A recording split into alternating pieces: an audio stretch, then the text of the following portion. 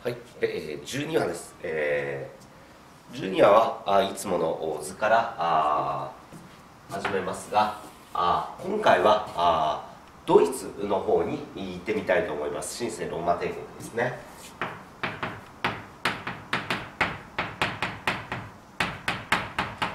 スペインのカルロス1世。フェリペ2世、えー、ですね。はい。そして、えー、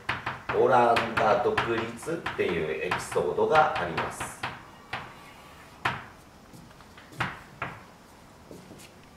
この際、えー、いろいろ確認しておきましょう。フェリペ2世を破破ったのはエリザベス。1世ですね。で、えー、こちらがチューダー朝。ヘンリー8世。エドワード6世。メアリー1世ですね。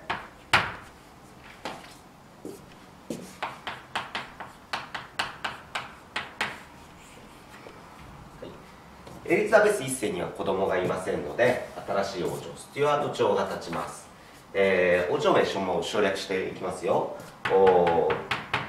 ジェームズ1世。チャールズそして、えー、クロムウェルが共和制です。そして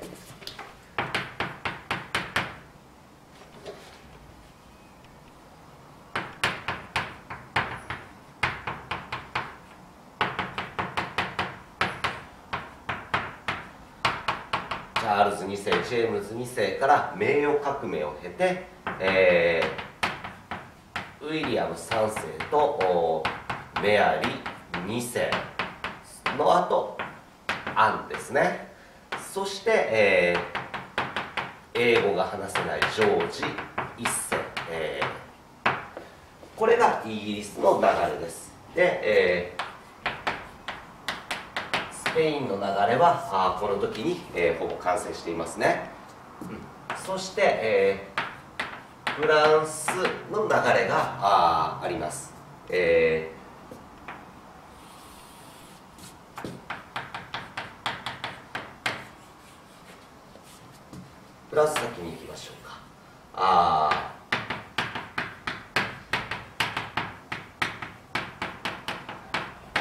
フランスは一世ですね。そしてフランスは一世からしばらく経ってシャルル9世、えー、ユグノー戦争という戦争が起きて、えー、内乱が激しくなります。その内乱を収めたのがあハンリー4世。そしてルイ13世14世と続きます。そして、えー、ルイ15世までがあこの12話で出てくる人です。しかしここでフェリペ2世の後スペインはハプスブルク朝が倒れてしまいますのでルイ14世の孫であるフェリペ、えー、5世がここで王様になっています。さあそしたら今日はですね、えー、この続きをいきます、えー、ドイツはもちろん新生ローマ帝国の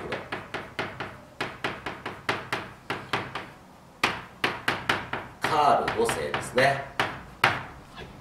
えー、カール5世からあしばらく経った後ですね、えーまあ、どのぐらいかと言いますとうん100年は経ってないですね、えー、780年後なんですがここにうん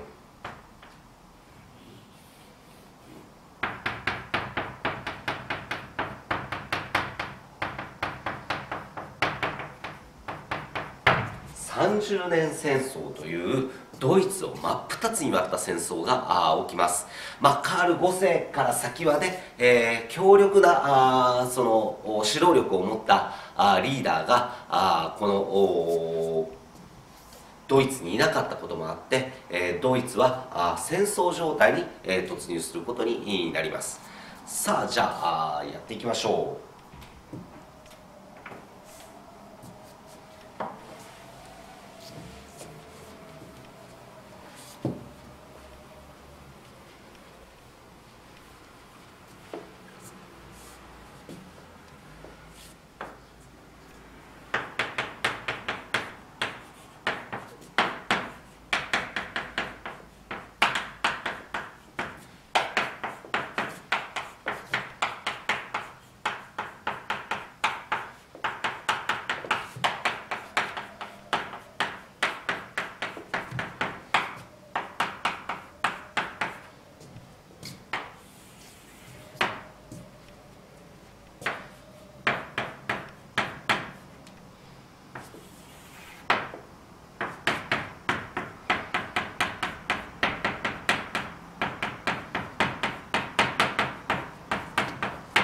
30年戦争です、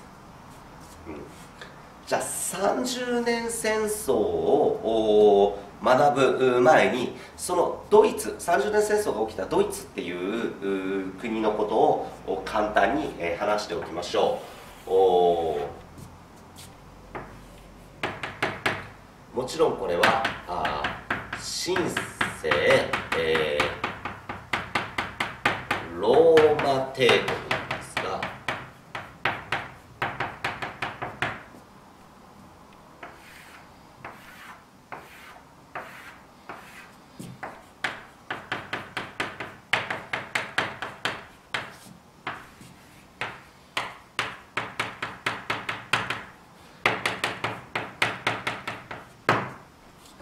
えー、神聖ローマ帝国にはたくさんのちっちゃい国々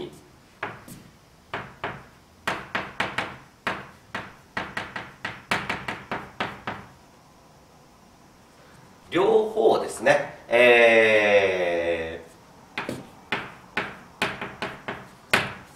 江戸時代の大名のようなものだと思ってください、えー、江戸時代の大名も300諸侯と言われたように大体300ぐらいの家があったんですけれどもこの神聖ローマ帝国も300もの細かい細かく分かれていて大名がたくさんいたっていうことをイメージしてください。で、えー、将軍様にあたる皇帝はあ選挙で選ばれています。神聖ローマ帝国はたくさんの小さい国々に分かれていてそれを選挙で選んだ一人の皇帝が、まあ、こう治めているというような感じです。でね当時この神聖ローマ帝国のこの一つ一つの両方を見るとこういうふうになっていました。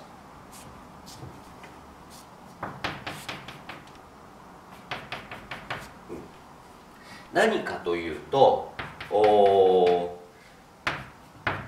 カトリック。プロテスタント。プロテスタント、えー、カトリック。カトリック。カトリック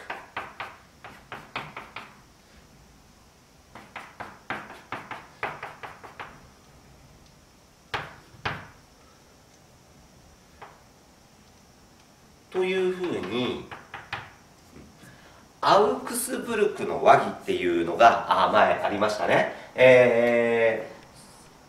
ー、その宗教改革の時にアウクスブルクの和議によって、えー、それぞれの両方のを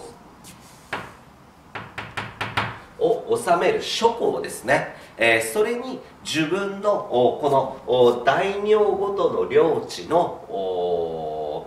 その宗教宗派をですね決めることができるっていうことです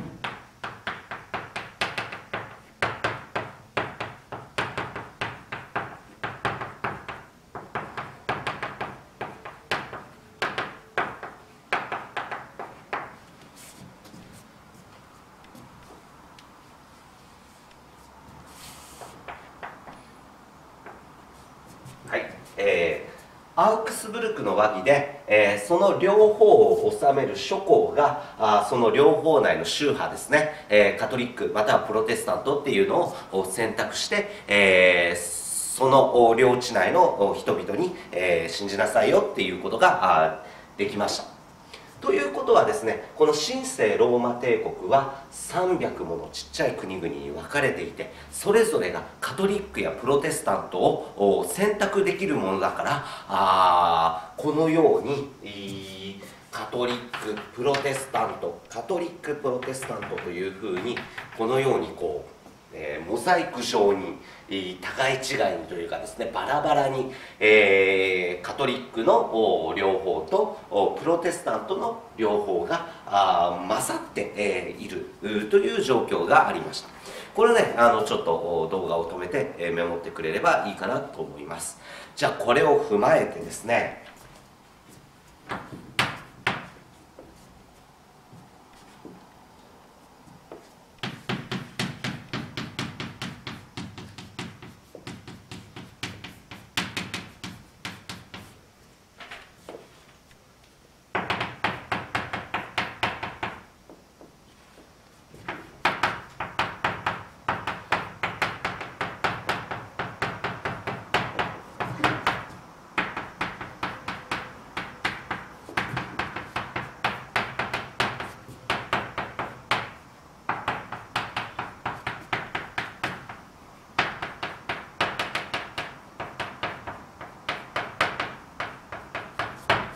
えー、このドイツを舞台に30年戦争という戦争が勃発するようになります。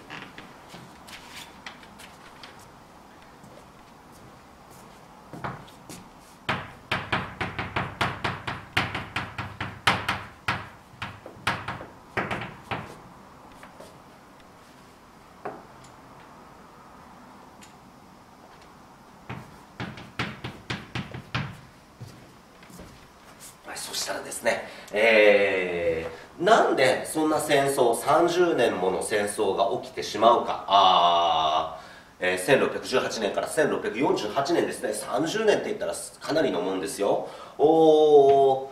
ここに米面と言われる両方の中でも大きなあえー、両方の一つですね、えー、がありました。この米面っていうところは、えー、領主が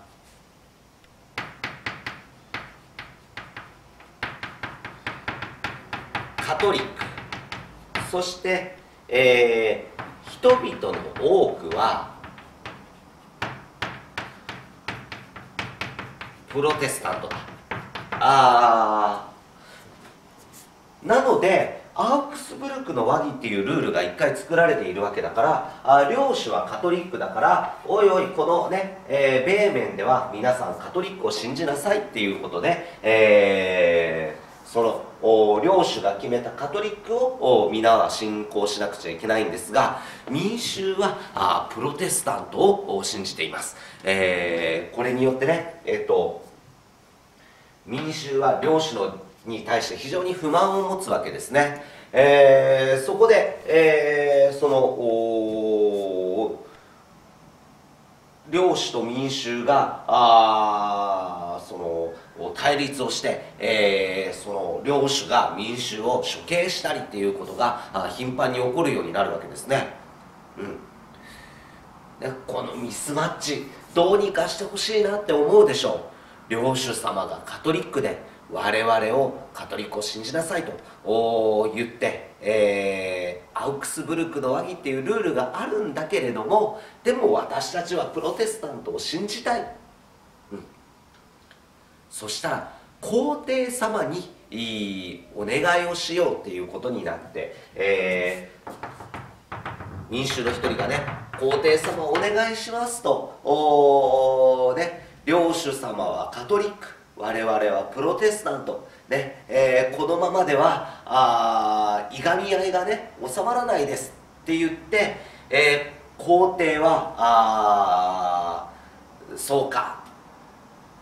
とは言わずにですねこの願い事をスルーします。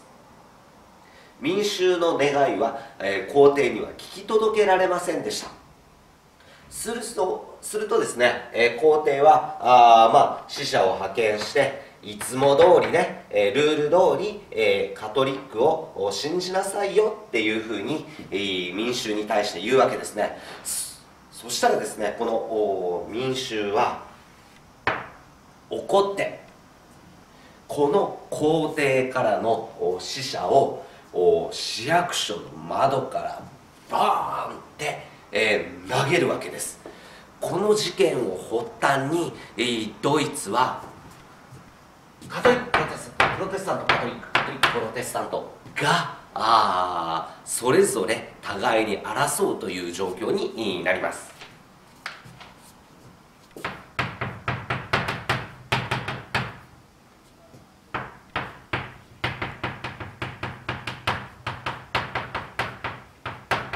新教徒プロテスタントですね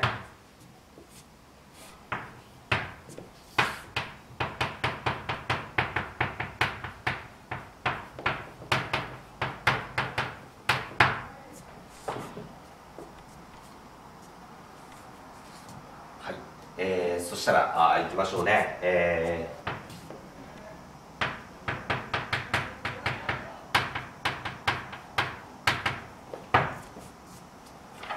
ー、30年戦争の経過はあ図にするのがあ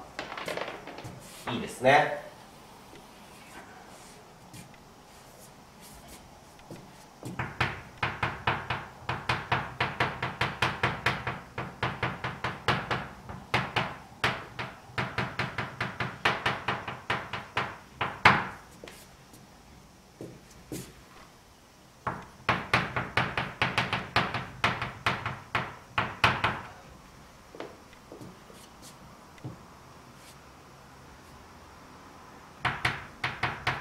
この丸は神聖ローマ帝国を表します。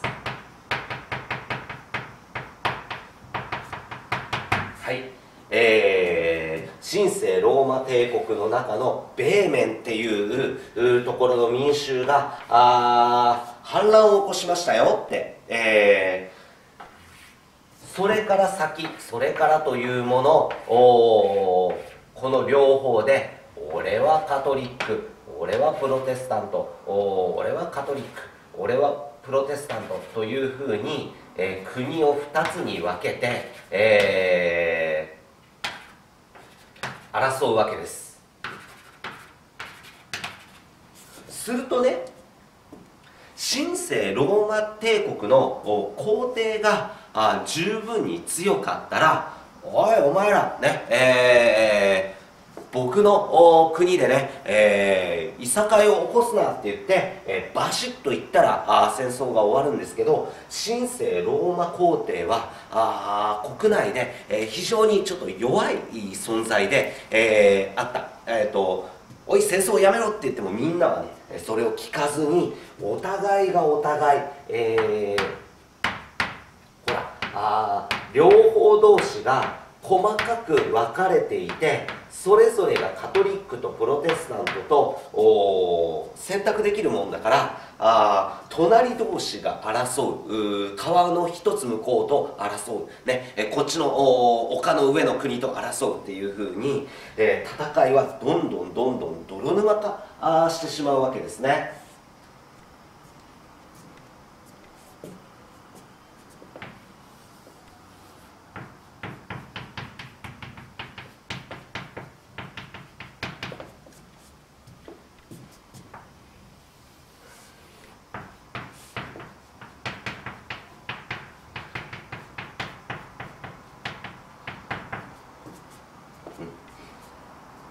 えー、こういうことですね、えー、するとですね、えー、自分の力ではあこの国内を治めきれなかった戦争を止めきれなかった神聖ローマ皇帝はあ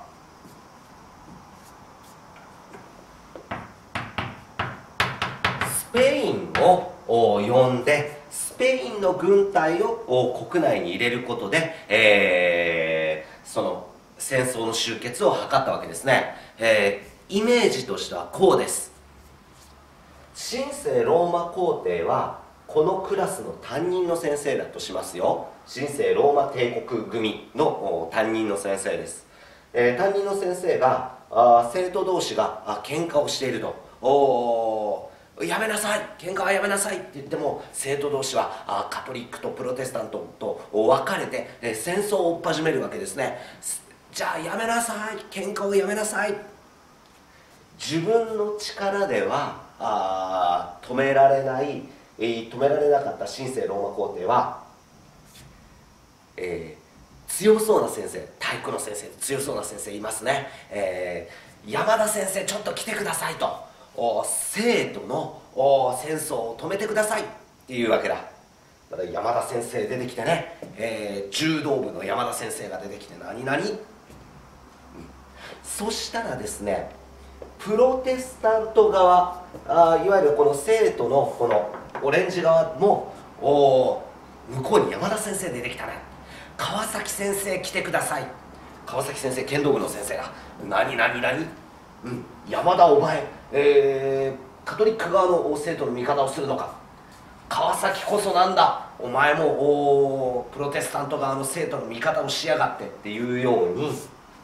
ね。えーお互いがどんどんどんどん味方を呼ぶわけですね、えー、岡崎先生来てくださいよ、ね。えー、こっちはこっちで、えー、海原先生来てくださいよ。っていうふうに、えー、なりますね。そのように生徒が喧嘩をしているのを神聖ローマ皇帝は止められなかったので、えー、他のクラスの先生や他の先生までどんどんどんどんこの戦場に呼んできてしまう。プロテスタント側も向こうが呼んだらこっちも呼ぶぞっていうことでどんどんどんどん、えー、味方を呼びにかかるわけです。はい。プロテスタント側はデンマークや、えー、スウェーデンを呼んできましたさあカトリック側はあこれに対抗してですね、えー、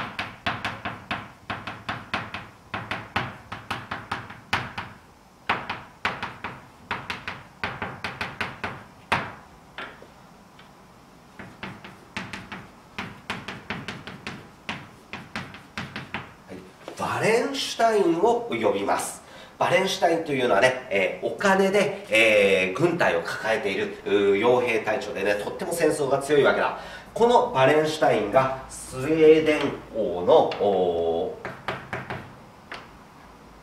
グスタフ・アドルフ。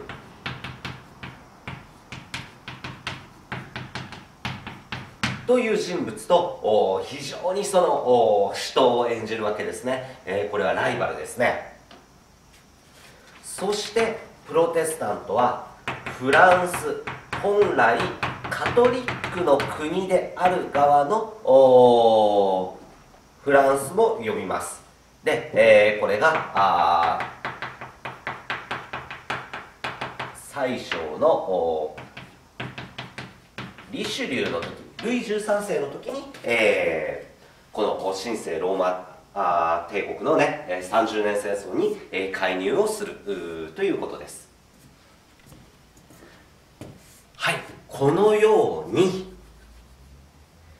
30年戦争が30年も続いたのは神聖ローマ皇帝が自分の国内の戦争を収めきれないので外国からあどんどんどんどん味方を呼んだらプロテスタント側の諸侯も味方をどんどんどんどん呼んで国際戦争まで発展していくっていう状況があ決着がつかないまま30年も経ったっていうその一つの理由になっています。じゃあこの図を残しつつ上半分を消して、えー、いきます。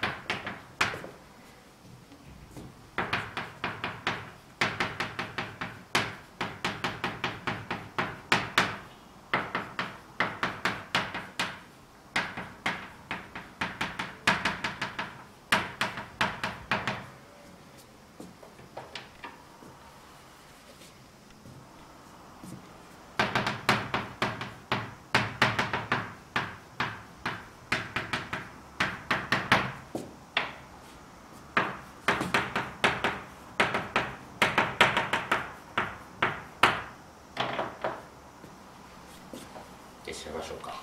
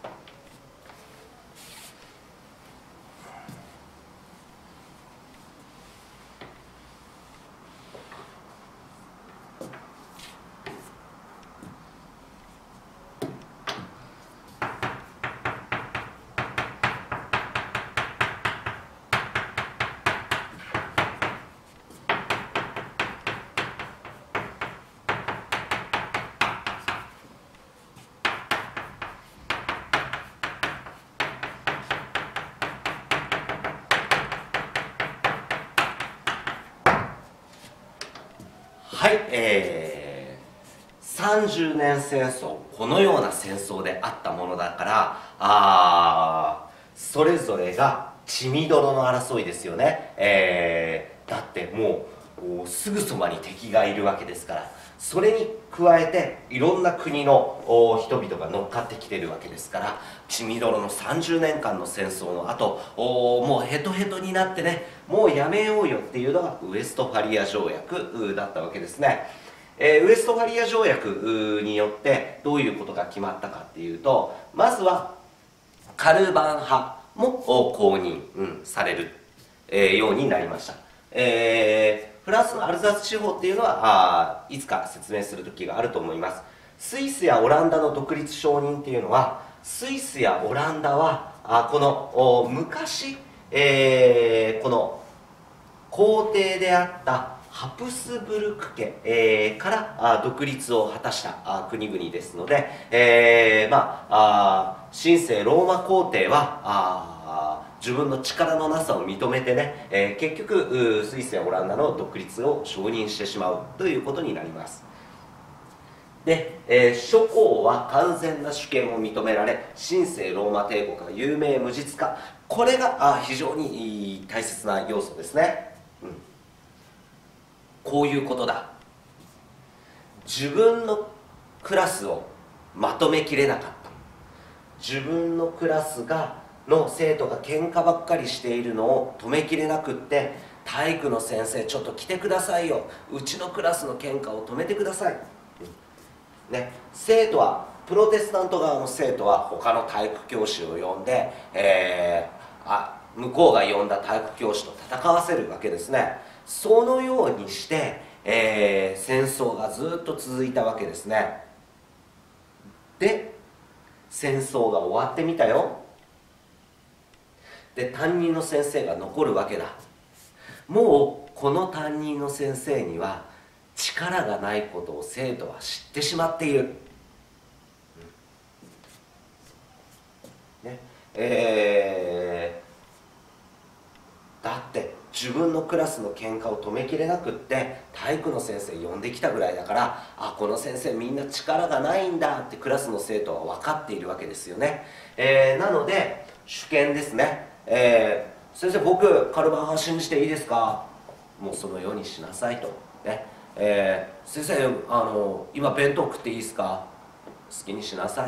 ね。えー、先生こうしていいですか？先生あのあいつと喧嘩したいんですけどいいですか？あもうもう好きにしなさい。っていうふうに担任の先生はいるんだけれども諸校は完全な主権を認められてえー、いるわけですね、えー、戦争をやるもよし、えー、隣のあのあれですね、えー、まあ弁当食うもよし、えー、プロテスタントを信じるもよしカトリックを信じるもよし、えー、そういうふうになるわけですね。完全な主権を認められてもう皇帝はいながらももはやこのクラスをまとめていない、えー神聖ローマ帝国は有名無実か名前はあっても実際はないものと一緒っていうことですね。だからあウエストファリア条約っていうのは